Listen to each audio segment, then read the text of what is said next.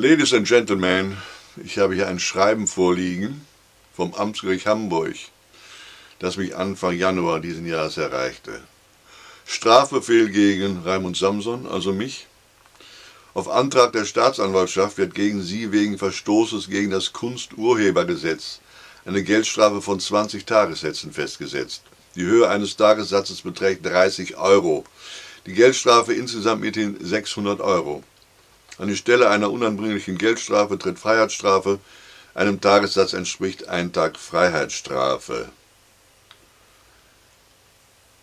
Ich finde 600 Euro sehr viel und möchte in diesem Video darstellen, wie es überhaupt zu diesem Strafbefehl kommen konnte. Am 14. August passierte ein Verkehrsunfall in Reierstick Nord. Ich kam zufällig Minuten später an der Unfallstelle vorbei, wo eine ältere Dame aus Wilhelmsburg, die ich persönlich kannte, von einem LKW erfasst worden war. Da ich meine Kamera dabei hatte, fotografierte und filmte ich. Einem Mann, der sich als Ersthelfer bezeichnete, gefiel das nicht. Ich filmte trotzdem weiter. Schließlich behinderte ich niemanden. Ich schrieb einen Text, versah ihn mit zwei Bildern und postete beides noch am selben Tag auf meiner Blogseite. Dann machte ich mich daran, aus dem Videomaterial einen Film zusammenzustellen. Das bedeutete eine Menge Arbeit, da bei dem Material eine Menge zu verpixeln war, unkenntlich zu machen war. Den Film veröffentlichte ich kurz darauf bei YouTube auf dem Kanal des Wilhelmsburger Kunstbüro und auf meiner Blogseite. Ich beging einen Fehler beim Bearbeiten des Materials, wie mir jedoch erst anderthalb Monate später klar wurde durch eine Vernehmung beim LKA, Landeskriminalamt Hamburg 181. Die Polizei ermittelte gegen mich wegen Verbreitung öffentlicher Zurschaustellung von Bildnissen gemäß 33 in Verbindung mit Paragraphen 22 und 23 Kunsturhebergesetz. Genaueres erfuhr ich am 7.10.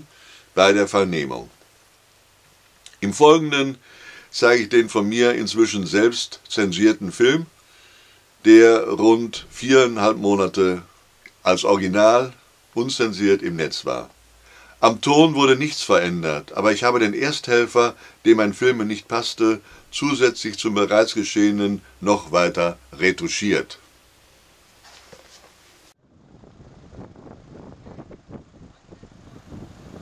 Wilhelmsburg ein Verkehrsunfall. Eine ältere Dame wurde von einem LKW erfasst. Ich kam Minuten später an der Unfallstelle vorbei und filmte, weil ich ganz allgemein als freier Journalist arbeite und speziell für Reierstieg TV. Entgegen anderslautenden Gerüchten ist Fotografieren und Filmen auf öffentlichen Plätzen, auch an Straßen, generell erlaubt auch für Nicht-Profis. Voraussetzung, Rettungsarbeiten werden nicht behindert, beziehungsweise es liegt kein generelles Fotografier- und Filmverbot vor. Die Veröffentlichung von Bildern und Filmen unterliegt besonderen Bestimmungen. Die wichtigsten Unfallopfer genießen eine besondere Fürsorgepflicht, das heißt, sie sind unkenntlich zu machen. Ansonsten gelten ähnliche bzw. gleiche Bestimmungen wie bei Events, zum Beispiel Sportveranstaltungen, Konzerten und ähnlichem im öffentlichen Raum.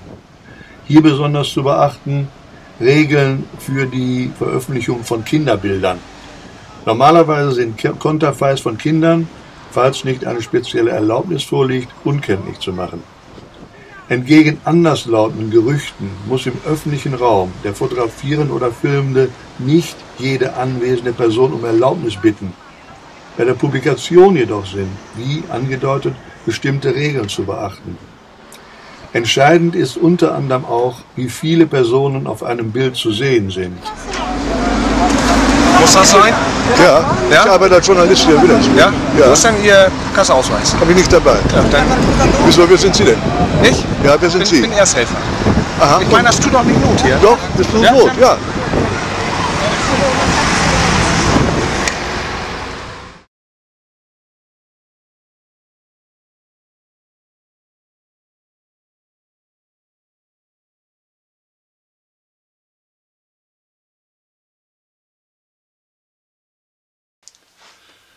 Eine wichtige Information möchte ich Ihnen, werte Zuschauerinnen und Zuschauer, noch geben, damit Sie die Strafanzeige und die Höhe der Strafe verstehen können. Ich schickte das Original, das unzensierte Original des Films an fast sämtliche Feuerwehren, Freiwilligen Feuerwehren Hamburgs. So etwas Ähnliches hatte ich schon mal gemacht, als ich einen Brand filmte, die Löscharbeiten. Das hatte positive Resonanz gehabt, mein Filmchen, und ich dachte mir, bei diesem Film geht es ja um ein Problem. Und das Problem ist doch interessant. Schickse das mal an die Hamburger Feuerwehren. Das Ergebnis war sehr überraschend. Ich bekam also äh, ja, Mails, die ich gar nicht verstand. Also äh, und später beim Verhör bzw. dem Gespräch mit dem Kripo-Beamten wegen der Strafanzeige verstand ich dann erst, wieso ich so im ersten Moment seltsame Mails bekommen hatte. Der Ersthelfer, der nicht wollte, dass ich filmte, war gleichzeitig auch Freiwilliger oder Feuerwehrmann. So, und dann äh, hat er natürlich mitbekommen, dass ich den Film überall gepostet habe, bei Feuerwehren. Hat er als Provokation gegen sich aufgefasst, vermute ich, und hat sich mit der Feuerwehrleitung in Verbindung gesetzt, beziehungsweise die mit ihm. Und dann wird es auch noch weitergegangen sein, vermute ich, dass also die Feuerwehr sich dafür eingesetzt hat, dass der Herr Samson eine richtig empfindliche Strafe bekommt. So verstehe ich das Urteil. Also, ohne es zu wissen, habe ich einen Mann sozusagen Tüdelchen geoutet äh, äh, bei äh, der Hamburger Institution Feuerwehr. Und das war ein Feuerwehrmann. Und äh, tja, das wusste ich nicht. Soll keine Ausrede sein.